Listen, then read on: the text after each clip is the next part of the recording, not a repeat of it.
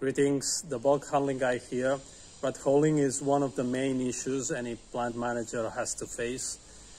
We came across a method to definitely solve rat holing. It was unexpected for us. Next, we'll show you how.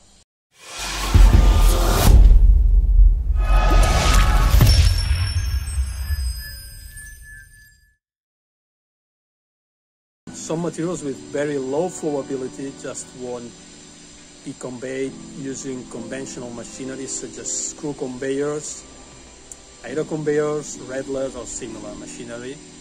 And as a consequence, your hopper, a silo, any other type of, of uh, container won't be emptied.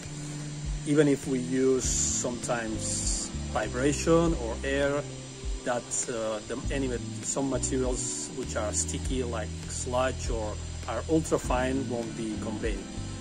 We found that if we enlarge the scoops in the inlet hopper of an Olds Elevator long enough so that they cover the whole radius of the hopper, all materials, no matter what material, would be swept by, by those, those scoops.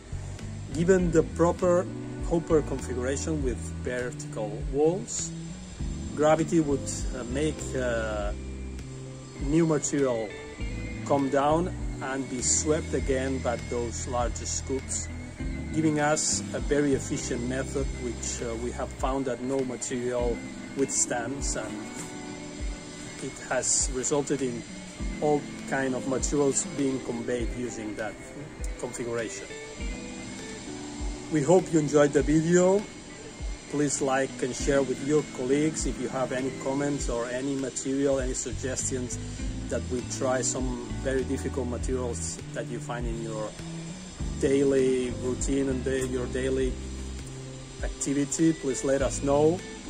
New videos will be coming soon, so we hope to see you again.